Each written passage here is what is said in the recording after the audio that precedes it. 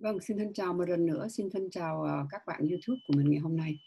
Um, tên mình là Hannah Ái Han Trần, uh, khoa học gia xét nghiệm ở Mỹ, uh, hơn 40 năm và kinh nghiệm về xét nghiệm, uh, giám đốc khoa học xét nghiệm là 32 năm, cộng với lại uh, 7 năm về uh, khoa học dinh dưỡng và phòng chống sức khỏe chủ động.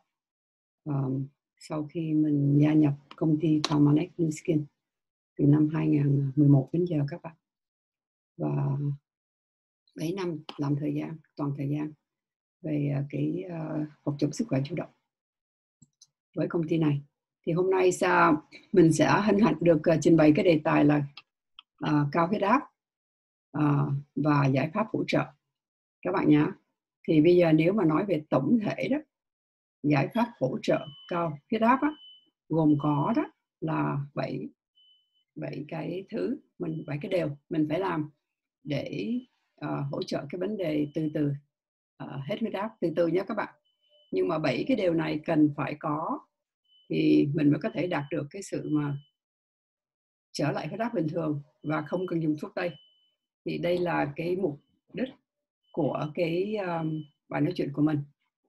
Thì thứ nhất là loại bỏ hai cái lực thực phẩm rất là độc cho hầu hết tất cả mọi người nữa nhưng mà đặc biệt nếu mình cao huyết áp ha, thì hai cái đó là à, ngũ cốc và đường các bạn nhé thì cái thứ hai là phải cân bằng chất béo omega trong chế độ ăn uống của mình. Và điều thứ ba là bình thường hóa cân nặng của mình. Điều thứ bốn quản lý đời sống tình cảm của mình. Và điều thứ năm là phải tập thể dục cho bản thân mình. Điều thứ sáu là phơi nắng thích hợp một cách thích hợp có nghĩa là um, không quá độ đó thì tí nữa mình nói sâu hơn. Và cái điều thứ bảy đó là phải thử nghiệm với các cái chất bổ sung để cải thiện huyết áp của mình. Thì đó là bảy cái điều căn bản mà mình cần phải có để mà mình đạt đến cái sự cao huyết áp à, giải pháp hỗ trợ cho cao huyết áp. Và từ từ không cần phải dùng thuốc tây nữa các bạn, bảo đảm, nhá.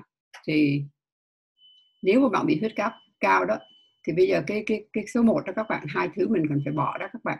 Là nếu mình bị huyết áp cao thì điều đầu tiên mình phải làm điều đầu tiên mà mình phải làm hay là nên làm là loại bỏ tất cả các ngũ cốc và đồ ngọt khỏi chế độ ăn uống cho đến khi cả cân nặng và huyết áp của mình bình thường trở lại. Thì khi mà mình loại bỏ loại bỏ được ngũ cốc và đồ ngọt ra khỏi cái chế độ ăn uống của mình đó mình, thì bạn đang trên đường đạt đến cái mức độ insulin khỏe mạnh trong máu. Thì không thể phóng đại được cái vai trò của insulin đối với huyết áp cao các bạn các bạn cứ nghĩ là insulin là liên hệ tiểu đường hả? Không phải. Insulin cũng là nguyên nhân cho nếu mà mình không có điều khiển nó thì nó cũng làm cho mình bị tăng huyết áp nữa các bạn.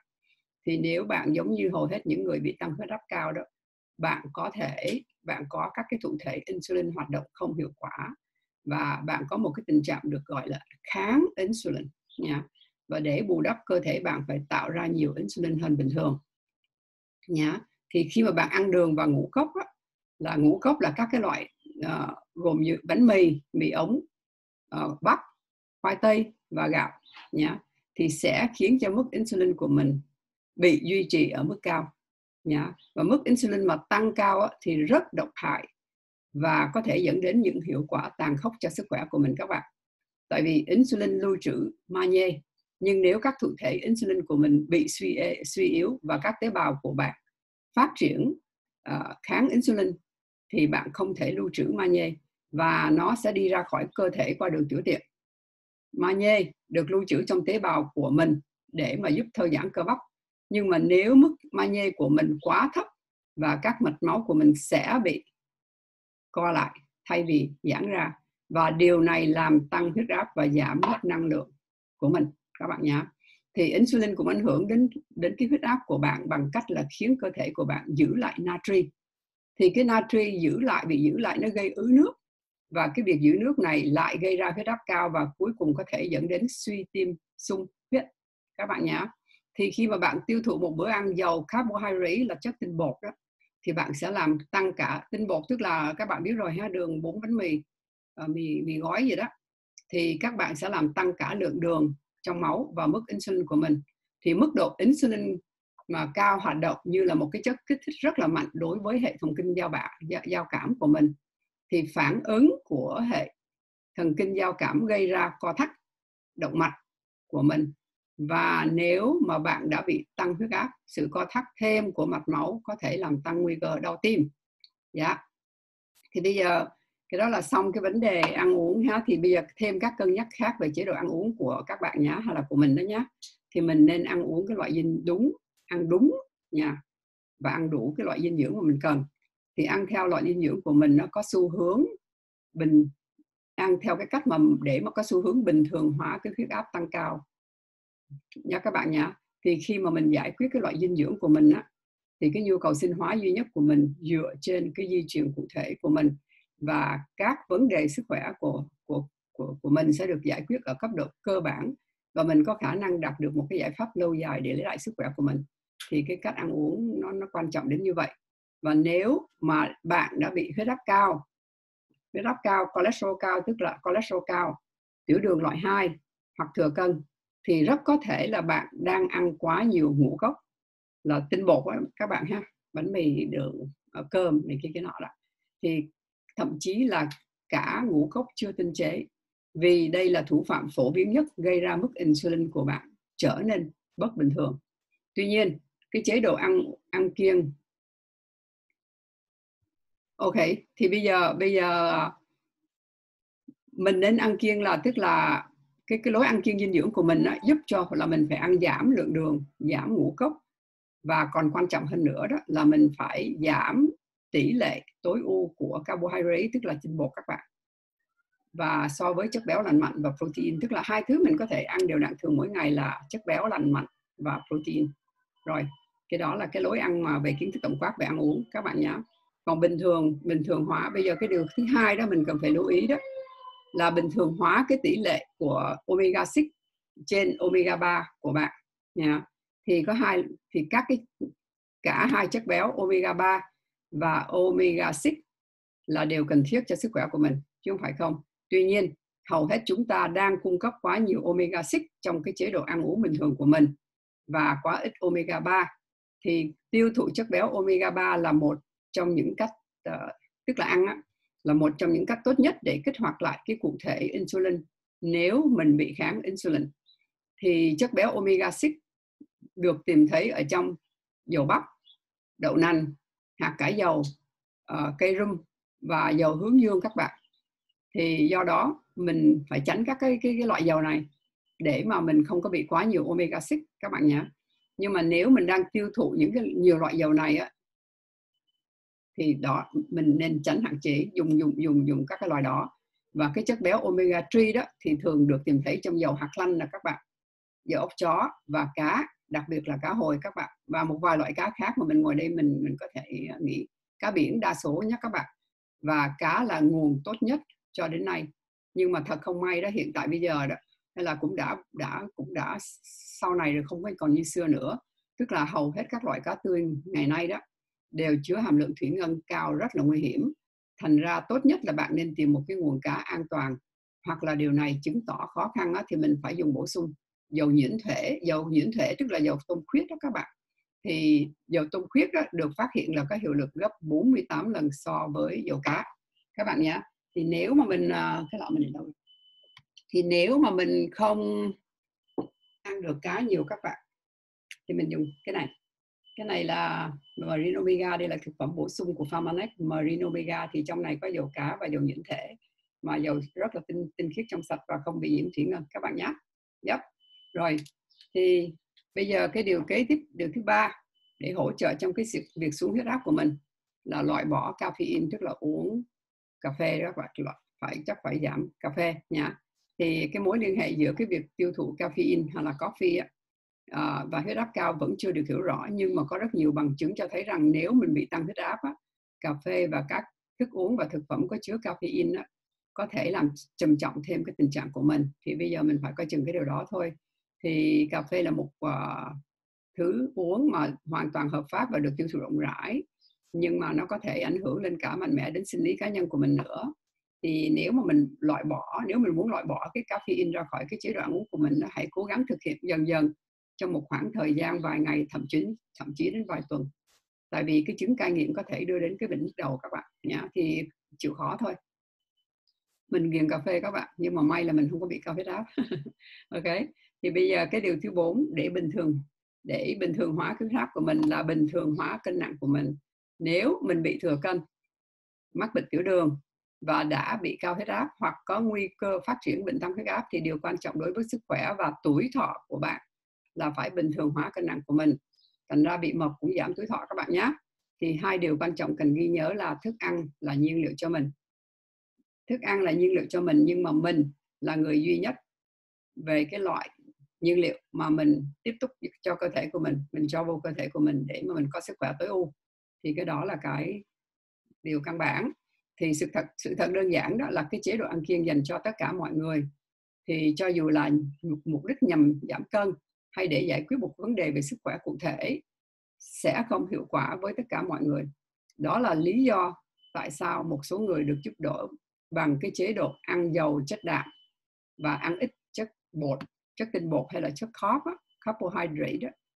Không? Thì các bạn để ý về cái vấn đề ăn uống là theo cái chế độ đó rồi bây giờ cái vấn đề, cái cái cái cái bí quyết thứ năm đó là để giảm huyết áp các bạn, là học cách quản lý căng thẳng cảm xúc của mình. Thì các nghiên cứu đã chứng minh điều này trên, và trên thực tế đó, là nó đã chỉ ra rằng một số người bị tim có thể và huyết áp có thể giảm hơn 70% nguy cơ tăng các biến cố về tim mạch và huyết áp nếu mà họ học được cái cách quản lý cân cân bằng cái căng thẳng đó của họ. Thì bản thân những sự kiện căng thẳng không phải là tác hại mà là do bạn thiếu khả năng đối phó với nó. Thì bây giờ để đối phó những căng thẳng thần kinh hay là trầm cảm hay là giận dữ quá mức đó các bạn thì ngồi thiền. Và và đây là cái cách nói là và tập thể dục. Tập thể dục là thuốc các bạn nhá. thì ờ, nó không những là nó nó nó nó hỗ trợ cái sự căng thẳng của mình mà nó còn là hỗ trợ kể cả giảm huyết áp cho mình nữa các bạn. Thì bây giờ nói về tập thể dục á, thì một cái chương trình tập thể dục toàn diện và nghiêm ngặt dường như rất quan trọng trong việc tạo ra lợi ích lâu dài cho những người bị huyết áp cao và tùy thuộc vào tình trạng thể chất của mình khi mình bắt đầu mà mình có thể tham khảo ý kiến của các bác sĩ nhé các bạn. Và và những người có thể giúp mình tăng đến cái cường độ cần thiết để tạo ra sự khác biệt trong cái sự giảm mức insulin của của của mình. Những người những người đó là bác sĩ đó các bạn nhá thì phải tham khảo ý kiến bác sĩ khi bắt đầu lên chương trình tập thể dục gì mà mình muốn tập thì phải báo cho bác sĩ biết để bác sĩ cho mình ý kiến. Nhưng mà đây là những cái nguyên tắc chung là các bạn là các bài tập chịu đựng trọng lượng như là đi bộ chạy bộ là tốt nhất nhá và chạy là tốt nhất đó chạy đó nhá ha. Và lẽ nhiên tham khảo ý kiến bác sĩ nha các bạn. Và các nghiên, nghiên cứu chỉ ra rằng các hoạt động aerobic như thế này có lợi nhất trong cái việc giảm huyết áp còn cái kế tới nữa là đạp xe và bơi lội mất nhiều thời gian hơn để mang lại kết quả tương tự. Nhưng nếu bạn thích thì bạn vẫn cũng đưa vào cái thói quen để mà tập thể dục hàng ngày của mình có thế thôi. Và bơi, nói về bơi đó thì họ nói là bơi trong đại dương thì được ưu tiên hơn là bơi trong hồ bơi là tại vì trong hồ bơi có các chất clo đó, chloride đó, thì các hóa chất này có thể ảnh hưởng về, gây các về vấn đề khác cho sức khỏe của mình. Thì gần như gần như là trong mọi chương trình nên kết hợp cái số lượng hợp lý của các bài tập chạy nước rút kỵ khí hoặc là uh, tức là cái tập mà uh, nhanh á, tập nhanh thật nhanh á, một cái độ một cái cái cái bài tập rồi ngừng rồi tập nhanh thật nhanh. Cái động tác đó các bạn thì nó gọi là bài tập chạy nước rút kỵ khí ok? Thì vì chúng đã được chứng minh là thậm chí còn hiệu quả hơn các bài tập aerobic trong việc giảm nguy tử vong do cao huyết áp và đau tim. Thì ờ, cái, cái, cái, một cái lối tập khác là tập tạ là một cái chiến lược tuyệt vời khác. Đặc biệt nếu bạn có thể kéo dài thời gian luyện tập của mình lên đến 90 phút một mỗi một lần và một vài ngày trong một tuần để bao gồm cả bài tập aerobic và kỵ khí trong những buổi tập dài đó. Các bạn nhé thì nếu mà bạn đã bị kháng insulin á, bạn chắc chắn sẽ muốn đưa bài tập tạ vào chương trình tập luyện của mình. À bị kháng insulin tức là tiểu đường á các bạn nhé thì nếu các bạn à, có những người cao huyết áp và tiểu đường song song với nhau các bạn thì cái đây là nên tập tạ. Thì các bạn à, tại vì cái chương trình tập tạ này nó tập những cái nhóm cơ riêng lẻ và sẽ tăng cái lưu lượng máu cho đến các cái cơ đó. Thì lưu lượng máu tốt sẽ làm cho tăng độ nhạy insulin của bạn thì cái đó là cái mình muốn các bạn nhé. Rồi cái điều thứ bảy để hỗ trợ trong cái việc giảm huyết áp là nhận một cái liều ánh nắng mặt trời hàng ngày thì bạn tin hay không thì tùy nhưng mà nếu mà bạn sống và hãy để ý đi bạn sống càng xa đường xích đạo thì nguy cơ mắc bệnh cao huyết áp càng cao. Và bạn có biết rằng là huyết áp thường cao hơn vào những cái tháng mùa đông so với mùa hè hay không? Để ý nhá thì ánh nắng mặt trời thực sự ảnh hưởng đến huyết áp theo một số uh, phương cách theo một phương cách một số phương pháp đó. Hiểu không? Thì cái cái cái thứ nhất đó là tiếp xúc với ánh nắng mặt trời đó khiến cho cơ thể sản xuất vitamin D tiếng Việt nào không? Ờ, tiếng Mỹ là đi. À, sản xuất vitamin D thì thiếu ánh nắng mặt trời đó làm giảm cái lượng vitamin D dự trữ và tăng sản xuất hormone tuyến cận giáp và làm tăng huyết áp các bạn nhé. Và cách thứ hai thiếu vitamin D.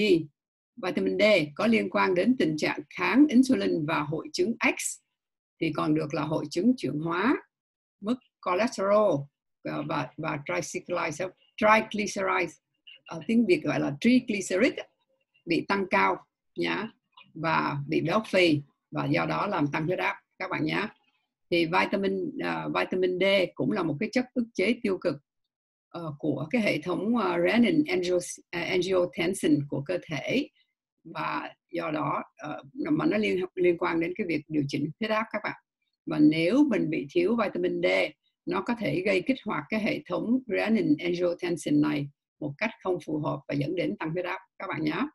Thì ngoài ra tiếp xúc với cái cái tia mà UV còn được gọi là nguyên nhân giải phóng endorphin, tức là tiếp xúc với tia tia UV tức là mình đi ra ngoài trình mặt. Khi mình tiếp xúc với phơi nắng đó các bạn, thì là nguyên nhân giải phóng một cái hóa hormone gọi là endorphin. Đây là một cái hóa chất trong não và giúp cho tạo ra cảm giác hưng phấn và giảm đau. Thì endorphin làm giảm căng thẳng một cách tự nhiên và quản lý căng thẳng cho mình là một cái yếu tố rất là quan trọng trong giải trong cái việc mà giải quyết cái bệnh tăng huyết áp. Do đó cái việc tiếp xúc với ánh sáng mặt trời là một yêu cầu cơ bản đối với sức khỏe của bạn. Và chỉ và không chỉ uh, để bình thường cái huyết áp của bạn thấy không? Thì là vitamin D đó giúp cho các hệ thống và cơ quan trong cơ thể hoạt động bình thường trở lại. Các bạn nhé. Thì bây giờ đó các thụ thể của vitamin D có thể được tìm thấy ở hầu hết trong các uh, mọi loại tế bào trong cơ thể mình nhưng mà nếu mà mình nghĩ rằng mình không phơi nắng thường xuyên đó các bạn, thì mình khuyên bạn là phải có cái bổ sung vitamin D. Thì vui lòng là không để cho bác sĩ, cho bạn theo toa của vitamin D là tại vì những cái cái cái vitamin D mà mua trong toa thuốc của bác sĩ là vitamin D2 có nghĩa D2 nhé và có nghĩa là vitamin tổng hợp và gần như không có lợi ích như là vitamin D thực, là vitamin D3 là cholecalciferol tí nữa mình sẽ chỉ cho các bạn làm cách nào để có vitamin D3 nhá. Thì khi mà kiểm tra nồng độ, hay là mình nói luôn bây giờ cũng được để cho nó liên liên hệ các bạn nhé vitamin D3 có trong cái bạn cái sản phẩm này các bạn. Vitamin D3 có trong sản phẩm Lifepack Pharmanex. Và vitamin D3 cũng có, cái này là bên ngoài nước Mỹ các bạn nhé còn bên trong nước Mỹ mình thì có sản phẩm này là có vitamin D3 nhé ok? Rồi thì còn gọi là bây giờ đó, thì khi mà mình muốn biết là mình có thiếu vitamin D hay không đó các bạn, thì mình hãy kiểm tra cái ờ, cái ờ, cái khoa học xét nghiệm, gọi là 25 hydroxy vitamin D và nên giữ nó tối ưu là giữa 50 cho tới 65 nano nanogram per milliliter các bạn nhé thì ờ, nói tóm lại đó là mình theo dõi và mình để và cái mức nếu mình bị cao huyết áp các bạn thì cái mức vitamin D của mình không được dưới 40 nanogram per ml các bạn nhé thì bây giờ mình tiếp tục ngoài ra đó mình cũng nên uh, dùng các cái bổ sung khác để mà hỗ trợ cho cái chương trình uh, tại vì theo nghiên cứu rõ ràng là một số vitamin khác cũng rất cần thiết cho trong cái sự hỗ trợ xuống huyết áp của mình. Thì trong đó có cái thứ hai chất kế tiếp là canxi và magie thì nếu mà bổ sung canxi đó và magie hàng ngày có thể hữu ích trong cái việc giảm huyết áp đặc biệt là nếu huyết áp của mình đang ở mức cao. Đó, rồi hai rồi tiếp theo là vẫn là hai cái vitamin nữa là vitamin C và vitamin E nhá. Thì các nghiên cứu chỉ ra rằng á, là những vitamin này có thể hữu ích trong cái việc giảm huyết áp nhá. Nhưng mà nên dùng một lần nữa là phải dùng cái vitamin mà dạng tự nhiên chứ không không không nên là dùng trong cái cái dạng tổng hợp. Thì mình có thể biết á bằng cách là đọc kỹ cái nhãn các bạn vitamin E mà dạng tự nhiên luôn luôn được liệt kê dưới dạng là có chữ D. Chữ D ha, rồi alpha tocopherol, hoặc là có chữ D rồi beta tocopherol. Thì có thể, nhanh nhất. Ok. Đây là đây là hai cái, cũng the same. Hai cái loại thuốc bổ này là vitamin D và có Lipac Lipac là có dạng tự nhiên của vitamin ờ, E cho các bạn nhé và cái này cũng vậy ok Lipac ở ngoài nước Mỹ. Cái này là Lipac nano rồi thì bây giờ đó làm sao biết được uh, cái vitamin mà nhìn mình nhìn vitamin E là dạng tổng hợp? Là tại vì nó sẽ để cái chữ chữ D và chữ L bên cạnh nó các bạn nhé. Còn cái này á, là uh, alpha tocopherol hoặc là beta tocopherol. Thì hai hộp này là vitamin E tự nhiên nhá thì các bạn coi chừng. Nếu mà đi mua ở cái chỗ khác thì mình phải đọc nhãn thôi các bạn nhá. Rồi bây giờ đó là xong là những cái thành phần vitamin và um, mà cần và marine omega mà cần cho cơ thể con người mà để giảm huyết áp các bạn. Thì thật sự nếu mà bạn ở trong nước Mỹ đó thì mình giới thiệu các bạn cái sản phẩm này gọi là Life Nano. Nhá là có tất cả những cái vitamin và những cái và có cả marine omega mà của nhiễm thể nữa là con tôm khuyết là nằm ở trong này để hỗ trợ xuống huyết áp cho các bạn. Và nếu bạn ở ngoài nước Mỹ đó bạn xem bài của mình ở ngoài nước Mỹ thì mình có sản phẩm này Lifehack đó là có những cái chất mà mình vừa nói trên. Và Lifehack đây là marine omega mà nó có cả dầu cá lẫn dầu con tôm khuyết các bạn nhé rồi thì xong hai cái ờ, những thành đó là chỉ là như vậy thôi để được giảm huyết áp nha các bạn. Rồi thì bây giờ mình có một cái vấn đề mà mình cần lưu ý các vấn đề bậc cha mẹ đó. Nếu mà con mình đó, khi mà chơi trò điện tử đó mà bị mất bình tĩnh đó, thì điều này có thể báo hiệu là chúng có nguy cơ bị tăng huyết áp trong những năm về sau, nhá. Thì các trò chơi điện tử ngày nay có thể rất là bạo lực về bản chất và đây là lý do cần phải quan tâm, các bạn nhé thì khuyến khích sự cân bằng trong các hoạt động của của con mình và tốt nhất nên tham gia, nên nên nên để cho, nên nên tập cho các con mình tham gia tập thể dục và các hoạt động thể chất khác. Một phần lớn thời gian để giải trí cho chúng nhé các bạn và lối sống ít vận động của rất nhiều trẻ em ngày nay đang góp phần gây béo phì và các bệnh mãn tính khác bao gồm cả huyết áp cao khi chúng tăng trưởng khi chúng lớn lên thành người lớn các bạn nhá. Thì cái đó để cạch cái đó là cái mình cần lưu ý các bậc cha mẹ. Còn dành cho các mẹ mà có trẻ sơ sinh đó thì các nghiên cứu đã chỉ ra rằng đó, trẻ mà trẻ em nào mà được bú sữa mẹ hơn trong vòng hơn 12 tháng đó sẽ giảm đáng kể nguy cơ phát triển bệnh tăng huyết áp khi mọi các bé đã lớn lên và các nhà nghiên cứu tin rằng các cái axit béo không bảo hòa đa chuỗi dài uh, cũng được tìm thấy trong cá nữa các bạn. Và trong sữa mẹ mang lại tác dụng bảo vệ cho trẻ sơ sinh. Rất tuyệt vời về vấn đề này các bạn. Rồi bây giờ đó còn một cái cái cái thủ thuật nhanh chóng đó, để mà giảm cao huyết áp của mình đó là mình tăng cái lượng ờ, nitric oxide trong máu mình uh, để mà mở các mạch máu bị co thắt và giảm huyết áp của mình. Thì các cái phương pháp đó là gồm có tăng hợp chất là bao gồm tắm nước ấm là một ha rồi mình hít vào và thở ra bằng một mũi. Bịt một một một mũi, bịt bịt một cái lỗ mũi lại và miệng của mình và hít vào thở ra. Nhá. cái đó là những cái thủ thuật nhanh chóng mà để tăng cái nitric oxide trong máu của mình. Và ăn mướp đắng. Mướp đắng là hổ hoa, phải không các bạn? Rồi, và ăn những cái chất nào mà mình đọc, mình biết là nó giàu axit amin đó và vitamin C, các bạn nhá. Rồi thì vitamin C có trong này mà. Vitamin C có trong này và Lipac Nano và vitamin C cũng có trong Lipac này. Dạ vâng. Thì phương pháp tự nhiên để ngăn ngừa bệnh tật và tự chữa bệnh khi bệnh tật ập đến luôn luôn là lựa chọn tốt nhất nha các bạn. Trong trường hợp huyết áp cao đó, hãy thay đổi lối sống và đặc biệt là chú trọng đến việc bình thường hóa mức insulin của mình. Có thể đưa mình đến con đường không cần dùng thuốc tây, trở lại sức khỏe tối ưu hóa một cách tự nhiên. Dạ vâng thì cái bài nói chuyện của mình hôm nay là hết. Và xin uh, thân chào các bạn và hẹn nói chuyện trong một đề tài khác. Chúc các bạn sống khỏe hơn trẻ hơn lâu hơn. Thân chào ạ.